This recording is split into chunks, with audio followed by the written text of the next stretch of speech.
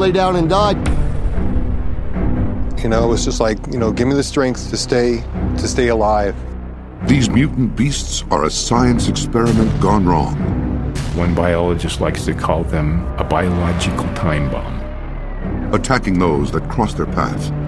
These are giant swarms of killer bees. All right, here they come. Back out. The way that they are attacking, uh, there's no doubt about it. They're a living monster.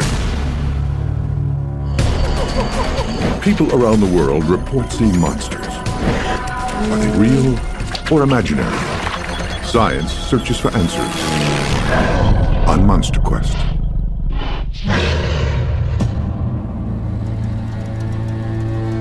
The Southwest. A desert landscape where temperatures can soar above 100 degrees, and only the toughest creatures can survive. The diamondback rattler and the bark scorpion thrive here. And now another deadly creature may be joining them. Traveling in massive swarms, they seem to be heading here. Giant killer bees. They were in my eyes, my ears, my mouth, my arms, my hands. They were, they were just all over me. It's a monstrous type uh, insect. It's, it's very scary. This was spread out. This was, I guess you'd call an attack, you know, like planes attacking a ship. I looked at their faces and I didn't have to say anything. I read it. And then the bees came after me immediately. Eyewitnesses report dense swarms of killer bees. Black and yellow in color, they work together as the ultimate killing machine. They use their lethal stinger, made up of lancets that inject a venomous toxin into their victims. These frightening swarms are the result of an experiment gone wrong. In the late 1950s, a scientist was attempting to crossbreed European honeybees with highly productive but very aggressive African bees. The mutant bees escaped and steadily moved towards North America. Giant killer bee swarms are thought to be responsible for the deaths of over 1,000 people. They were completely just about an inch and a half thick around my head. And it felt like I was on fire.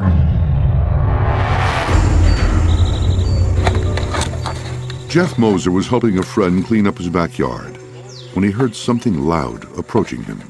All I saw was a cloud of dust.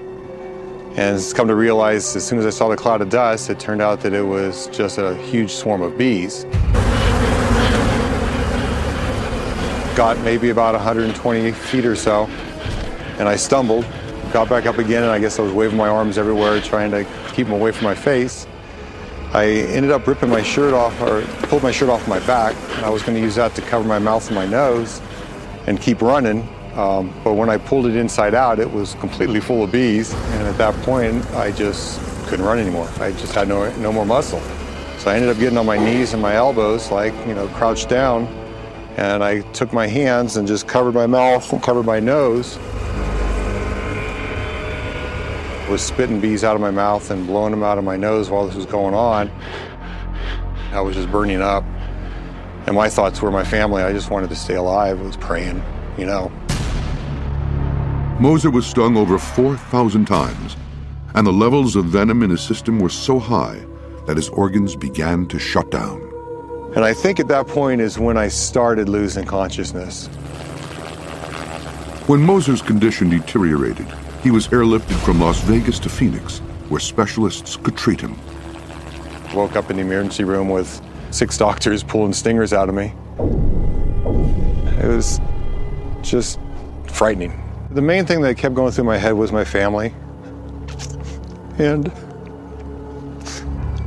that was the hardest. I didn't want to die. And as you could tell, it still bugs me. Um, I just didn't want, I didn't want to go out that way. In addition to their attacks on humans, these giant swarms of killer bees have almost completely wiped out the honeybee in the southwest United States.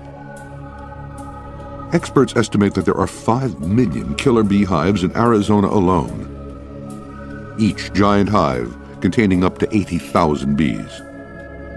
And now it appears these killer bees may be headed even further north and adapting to colder temperatures.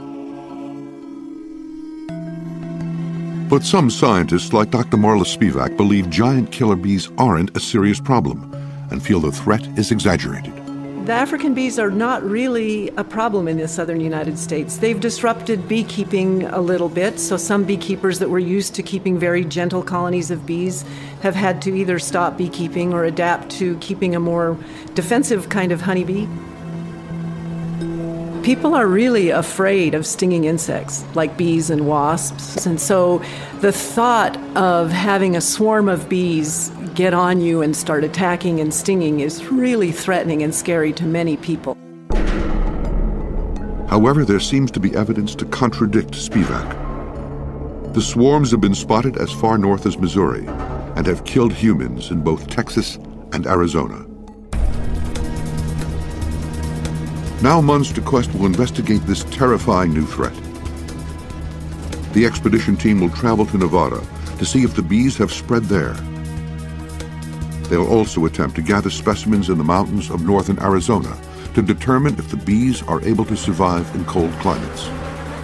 The science team will then analyze the bees to see if they are from the mutant strain, and they will also conduct an experiment to determine just how aggressive these creatures have become. The search begins in Bisbee, southern Arizona. Reed Booth, a bee expert, will lead the expedition. He heads to a location where suspected giant killer beehives have been spotted. Bees will live in anything. In the, out in the, the natural world, they live in hollow trees and caves, the eaves of our house, Spanish tile roofs, uh, under trailers in cars, in trunks. I have seen uh, killer bees uh, kill people, literally, um, kill horses. They will attack anything that moves, anything that makes noise, smells, uh, and, and they won't do it a little bit. They will attack until something is dead or gone. The team arrives at a deserted ranch. The goal is to determine if the bees are the hybrid strain and whether they're getting more aggressive.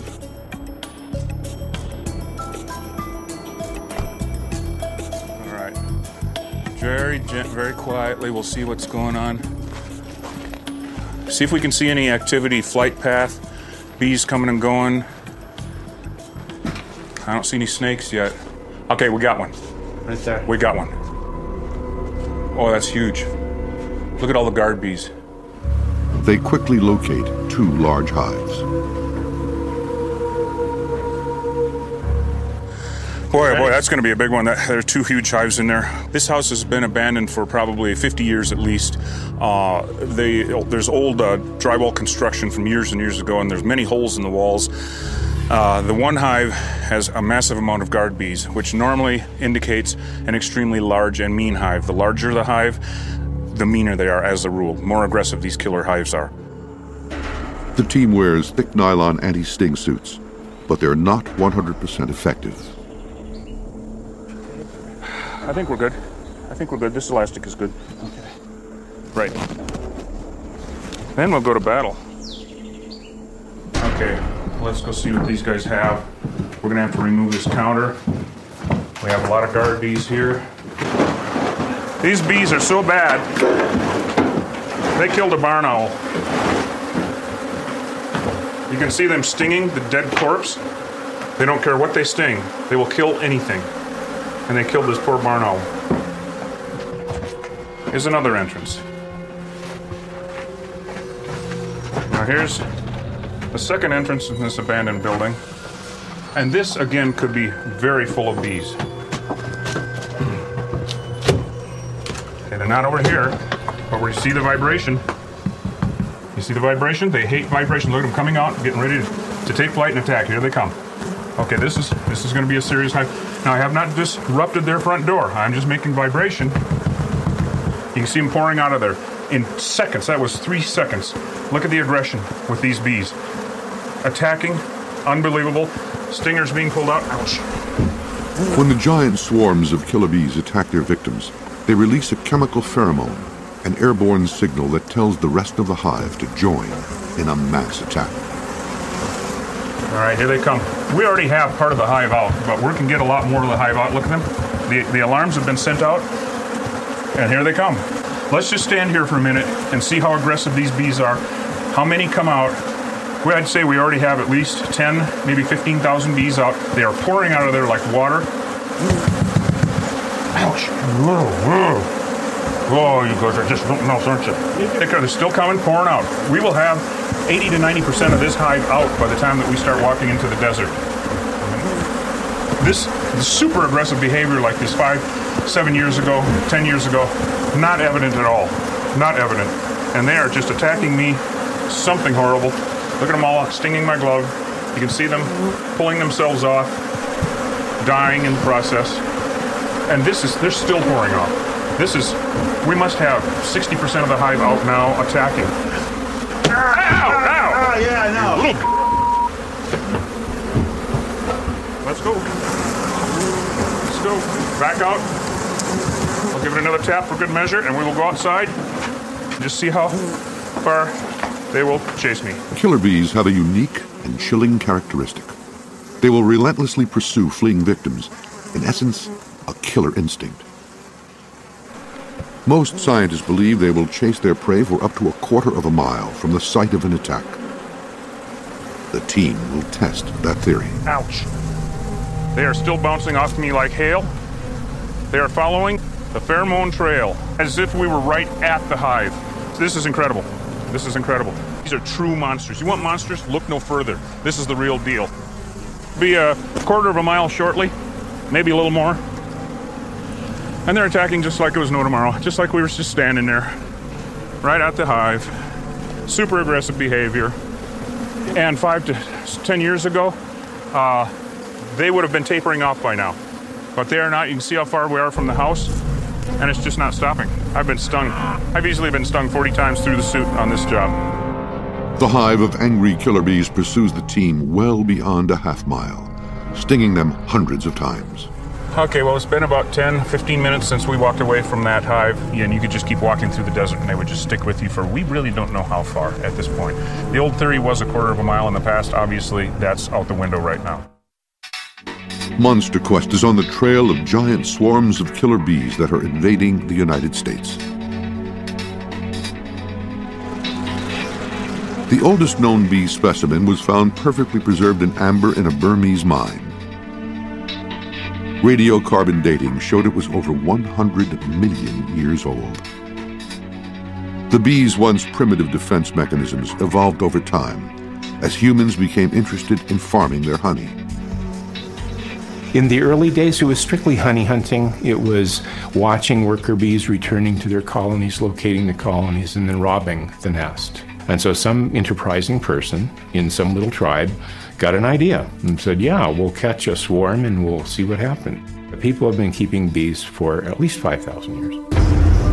To the ancients, swarms of bees were seen as an omen of death. They were said to have foretold the defeat of Pompey by Caesar in the Battle of Pharsalus in 48 BC. 2,000 years later, the omen has become a very real danger. When did we go from good bees to bad bees? It started in the jungles of southern Brazil, 300 miles to the west of Rio de Janeiro.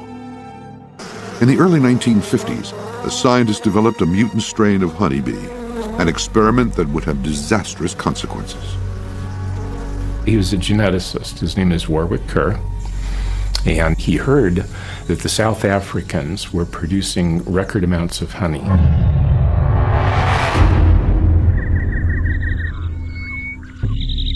He also knew that this certain African bees were very rugged and can live in a very uh, diverse environmental circumstance.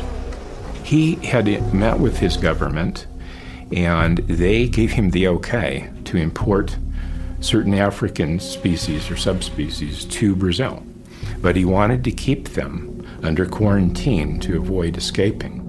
Then, in 1957, a deadly mistake. An assistant working in the field removed what we call queen excluders. They're a special little bridge that allows the workers to get through, but not the queens. That way, you don't have escapees. He removed all the queen excluders from their experimental hives. 26 killer bee queens escaped from their hives, with their worker bees following close behind. The swarms spread like wildfire through the jungles and mountains of South America, leaving a trail of death and destruction.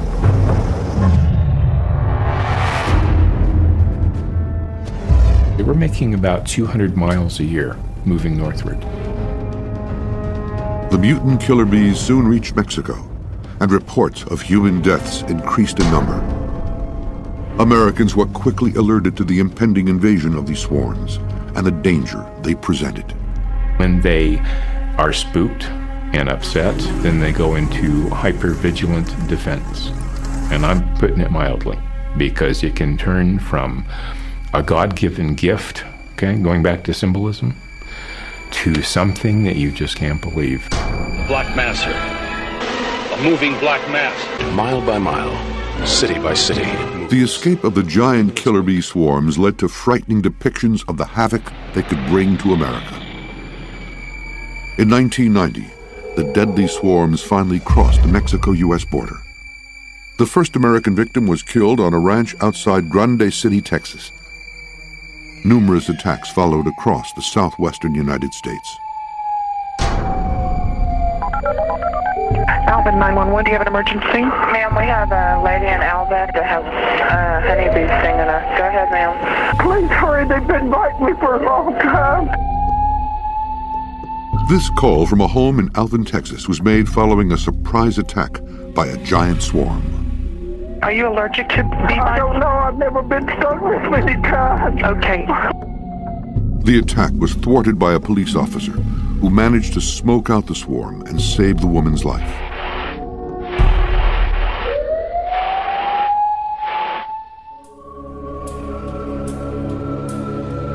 Scientists believe these killer bees are becoming increasingly aggressive and highly organized. They just keep going until their threat is down and dead. And on autopsies, these bees with their plan of attack, they will crawl in your nostrils, they will crawl in your ear canals, and on autopsy, they've been discovered numerously in your esophagus. So they crawl down your throat and sting you in the esophagus. And you know that with a, a, an allergic reaction placed directly in those areas will kill you.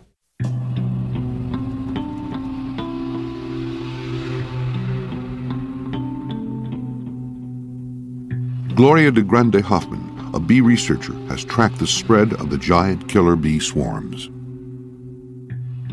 This map shows the spread of African bees in the southern United States after its initial introduction in the southernmost part of Texas. What they did is those bees began to move northward and primarily westward initially until they covered the southern tier of Texas and moved on into New Mexico and Arizona. For decades, scientists believed the killer bee strain, which evolved in the tropics, wouldn't be able to survive in colder climates. Dr. Hoffman, however, says they have crossbred with native bees, enabling them to adapt to the weather. The African bees uh, are a hybrid between a, a, European and an African, and those um, genes seem to have established themselves in those populations that can make it through the winter. They've retained African traits and they've also co opted some European traits, so they're a true hybrid. The science team will now conduct an experiment to test whether these mutant killer bees have indeed adapted to cooler temperatures. So, what we've done is take a, a colony of African bees and put them into this cold chamber to watch their clustering behavior. It's cold inside there, much colder than out here. They place a hive of several thousand killer bees into a chamber where the temperature is just 23 degrees Fahrenheit. They will monitor the bees over an eight hour period to see if they can adapt to survive. We're going to see how well these bees can thermoregulate their nests when they're in this kind of cold climate.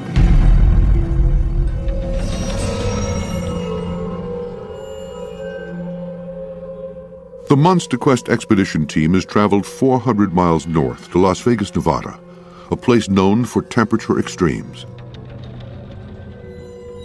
During the day, the thermometer regularly climbs above 100 degrees Fahrenheit. But at night, it can drop below 32 degrees. If the bees can survive here, they can survive anywhere. Okay, I'm here in Las Vegas, Nevada, looking for anywhere where killer beehives might be, which, from what I can see, is everywhere.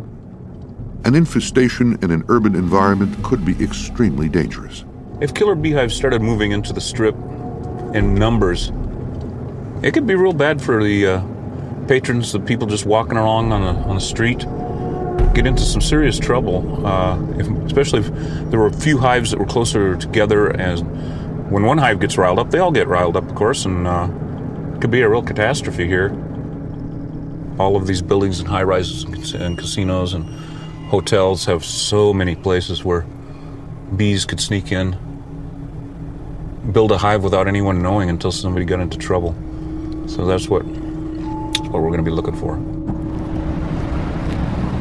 The team begins its search at night, when giant swarms are usually inactive. The goal is to capture some of the creatures for testing.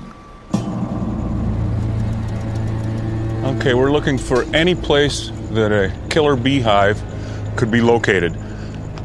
And they could live in events such as that there. They like to live where it's warm if possible, of course. This is a big uh, electrical generator for something, but you can guarantee it's warm. And they could easily live underneath this platform right here. They also love to live actually in the bases of telephone poles. I remove them all the time. The bases will get rotted out and hollow, and the bees will go in and live in the base of the telephone pole. Any of these vents, as long as they don't get washed out, of course. But usually, a lot of times where there's vents like this, there will be a crack around the, the, the drain or the vent, and they can go into the hollow block.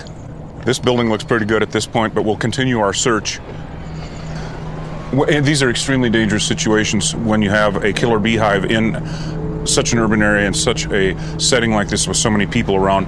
Uh, it, it's so dangerous, and people do get attacked quite a bit. Uh, they come out of their house and all of a sudden see the bees flying around and they get stung. The, the harder we look, the more likely we are to find, of course. Uh, but there, we will find killer beehives in Vegas. They're, they are here. There's no doubt about it. Monster Quest is on the Strip in Las Vegas, searching for swarms of killer bees. These deadly creatures may be moving north, infesting urban areas and adapting to colder environments. It is in densely populated areas that the swarms have the greatest potential for terror. You became a target. Um, no matter what you were doing, walking through, um, just stepping out of your car, it was it was intense.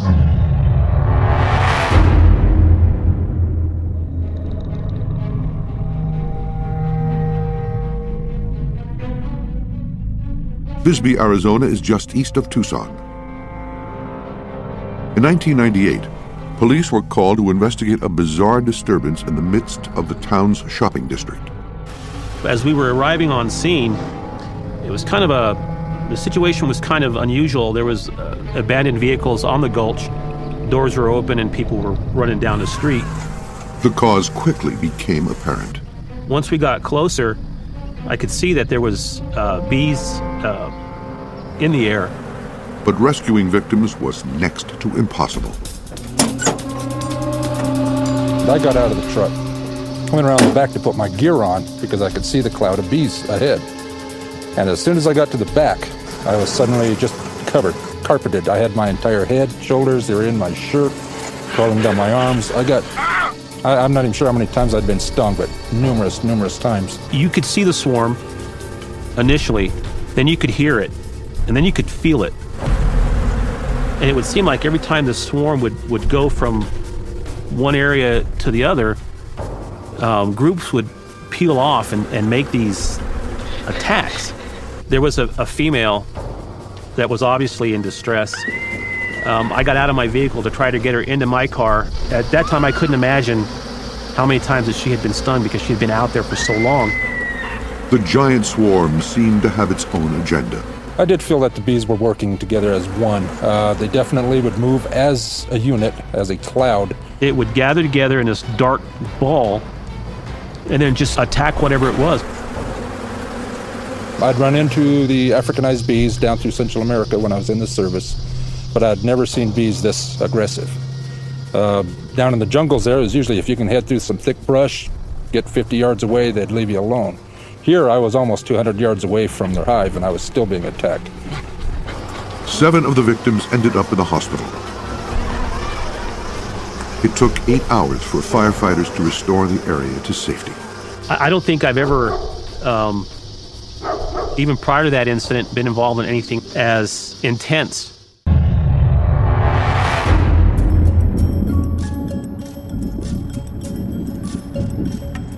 I've gotten a call from a contact here in Las Vegas that has located a potentially very dangerous hive in a residential area.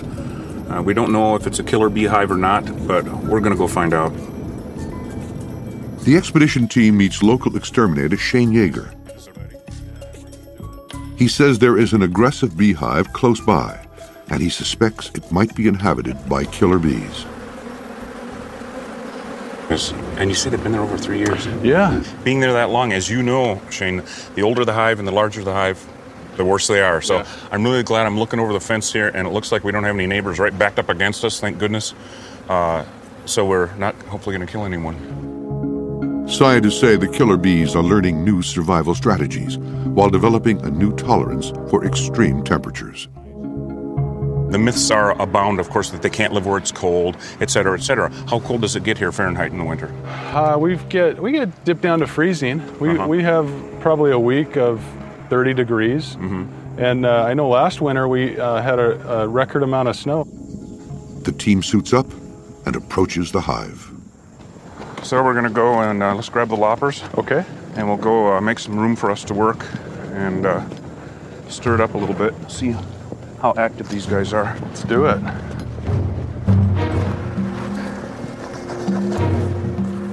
So Let's grab uh, some of the heavy machinery, sledgehammer, all right, a very few- and then uh, we'll have a whack, knock a few of these off right with the uh, concrete Very joint. good. Okay, I'll move my stuff back. Well, you can hear it. They're in attack mode. Yeah. You can Oh hear it. yeah. They're getting aggressive. I don't see any activity again at the top. Any, no, nowhere else on the No. uh, fountain. Now, darn it, the hole is just strange enough so I've got, you know, a few in there, but I think what we're going to have to do is hmm. open her up. The bees strike almost immediately. I can open up a second block too. Oh, here you go. Oh my! Got home? Let me hit. Let me hit Oh, one more come shot. here, come here. Oh, Yeah. God. You wanna Let, get- us get a little okay. bit here. Yeah, let's get a little bit here. They attempt to gather samples for analysis at the lab, but the attack is making it extremely difficult. That's a hundred or so. These are definitely acting so aggressive. Uh, there's no doubt about it. They're a living monster. And like we've talked before, a beehive, they don't act as individuals. These are all acting as one unit. All right? They're all thinking the exact same way, and that is to drive us off and kill us. I would stake my life on it that these are not European bees. Yeah.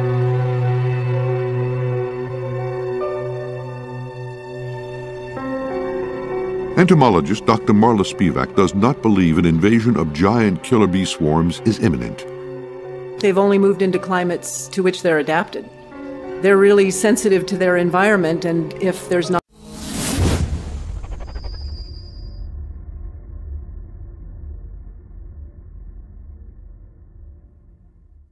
not enough water, or if there's too much rainfall, or if there's not enough flowers, floral resources, they're not going to move out of those areas. They're going to stay where they're where the conditions are good for them.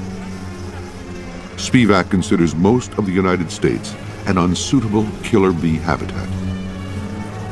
As you go farther north in the United States, past Texas, past New Mexico and Arizona, the winters get colder and colder and colder, and Africanized bees are really not adapted to temperate, colder climates. They're an African bee, they like warm tropical climates, and Minnesota, for example, would not be on their list of places to visit. It's too cold here in the winter. They like warm tropical places. To test the theory, the science team is analyzing how the hive behavior of killer bees changes when the temperature drops below freezing. The bees have been exposed to 23 degree temperatures for three hours, but the thermal camera reveals an area of red where the bees are thriving. So what we're seeing here, and also what the thermal camera is showing us, is that they are starting to gather toward the center of the frame, which is the warmest part of the hive. You can see they're moving up from the bottom of the frame towards the center and gathering in a cluster. And this is the hottest part of the colony right now. So they're trying to keep each other warm and they're also trying to keep the queen warm. And they'll continue to do this as they get colder and colder. The giant swarms of bees seem to be learning strategies to survive in the cold by crossbreeding and adapting to the environment. So this behavior indicates that the, the Africanized bees would also thermoregulate their nest in a similar way to European bees, that they could survive in, in colder climates as well. Monster Quest is searching America, investigating giant swarms of killer bees that may be growing more aggressive and attacking humans. They were in my eyes, my ears, my mouth, my arms, my hands. They were, they were just all over me. Tom Housley, a former soldier, has dealt with dangerous situations before, but nothing has prepared him for this attack. I was in the Special Forces in the service when I was young, and that wasn't scary. Uh, I've taken guns away from people and knives, and that wasn't really scary, but this was scary. Housley was mowing the lawn in his backyard when he accidentally ran over a massive hive containing some 100,000 killer bees. I was being hit by these bees, and pretty soon there was hundreds or thousands of them. I just jumped off the mower and I started running. I was yelling, God, I'm dead, call the paramedics, you know. I just, I was scared, just scared. I panicked really bad because I thought if I'd ever got stung, I thought I was a dead man. His neighbor, hearing the noise, came to investigate. The way he was hollering, I knew something was wrong. As I got closer, I realized there was bees. I was, I was looking for a place to hide, and then there was no place to go. And then Tommy showed up, and it was like heaven had opened the doors, you know. He was definitely in fear of his life. And he was he was panicked. No doubt. With Housley clinging to life, his neighbor went back outside to warn others in the area. Within seconds, the killer bees had found a new target. I guess you'd call an attack force, like planes attacking a ship. It was it was spread out and moving in. They stung me all over, in my neck, in my face. After the paramedics got here, I was trembling so bad, and they, and they said I was hyperventilating. Both men were lucky to survive. I can't compare it to anything else I've dealt with in my life. You either get away from them, or you lay down and die till, you, till you're no longer a danger to them.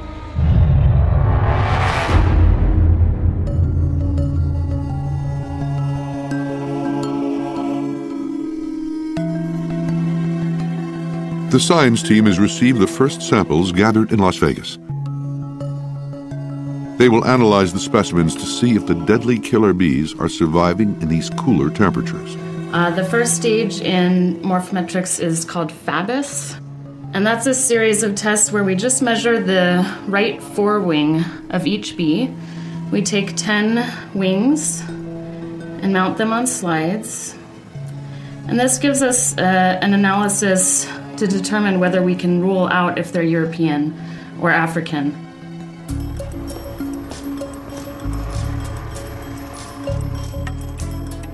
The images of the wings are projected for comparison. I'm guessing that these bees are African just because the measurements are very small. This one is at an 8.8. This one here is again at 8.8. Usually with European bees, we tend to see numbers more around 9.1, 9.2. So my guess is that they're going to be African, but the FABIS test again is just a preliminary test. The expedition team is headed to northern Arizona. It's an area that has experienced some of the most recent and violent giant swarm attacks. The team is trying to determine if the bees are surviving in the colder mountainous regions of the state. A standard uh, assumption, especially in the scientific community, is that uh, killer bees can't live at these higher elevations and at these lower temperatures. I tend to believe that they can. A couple of reasons. They have a higher metabolism. Uh, their wings actually beat faster, and they also store up to twice as much honey in a larger hive. So they can keep the hive warmer in colder conditions. Honey is pure energy. And if they can collect enough honey, they can survive.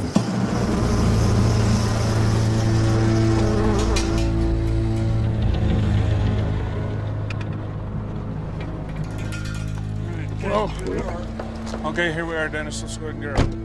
The team will attempt to collect samples that can be sent to the laboratory for analysis. What is the general elevation of the area here in this area? What is a minimum and a maximum? Right here, we're pretty close to 7,000 feet. Okay. We're just north of, of downtown Flagstaff. What kind of uh, temperatures do you see in the winter? The, the lowest temperature is maybe minus 27. Yeah, so we'll just maybe go look at this colony that's in the, the oak tree. Okay, very good. Let's do um, that. We can get some samples and Yeah. maybe see how aggressive they are. The team begins with a scout of the outskirts of town, where they believe giant swarms are likely to colonize. They've received a tip of a sighting in this residential area. Well, this is a, a honey customer of mine that Okay. called and said he just has bees in Yeah. his backyard. Seems We- like they're we- going in the pallet space Oh near yeah, the they're down. ground. They're down under the pallet. Looks like a pretty good sized hive. Of course, we have no idea if they're uh, killer bees or not yet. In order to get a closer look, the team suits up. They'll also prepare a smoker, which they hope will have a calming effect on the swarm. Now it's there if we need it. Yeah. Okay. Let's go ahead and. If these bees are of the mutant variety, it will be proof that the swarms are capable of surviving at high altitude, and therefore in colder climates. They're uh, they're getting a little feisty.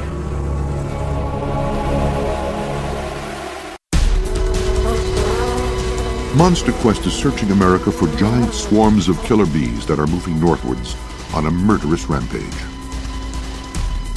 This man was the victim of a brutal giant swarm attack in Las Vegas.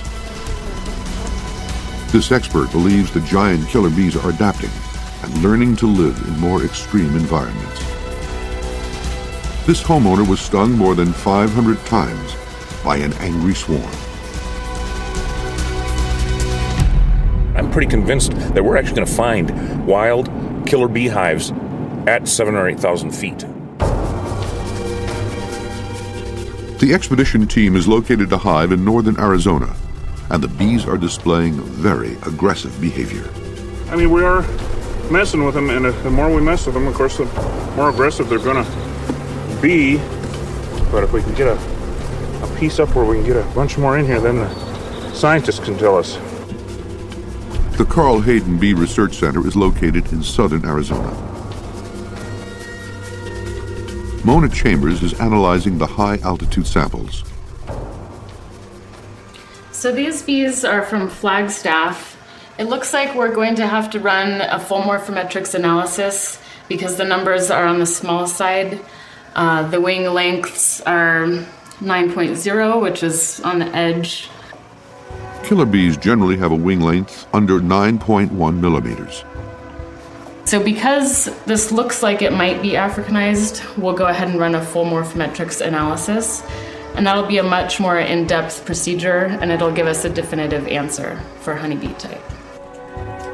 A positive result will be proof that giant killer bee swarms are adapting to cold climate regions. Once we get all of the parts dissected, we analyze them using a computer program that measures all of the different body parts that we've dissected out.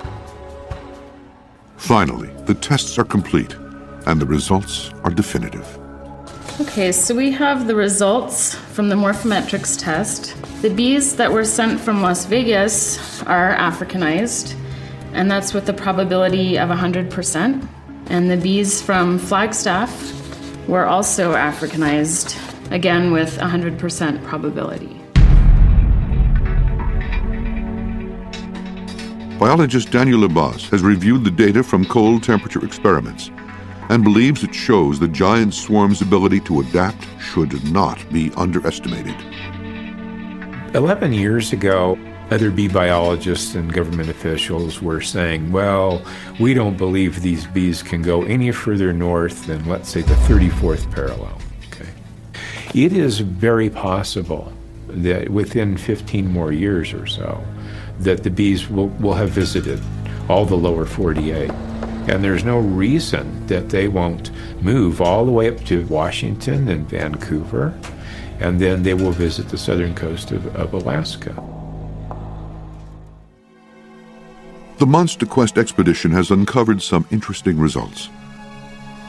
Tests have shown killer bees can survive in colder weather areas by clustering within the hive and raising temperatures.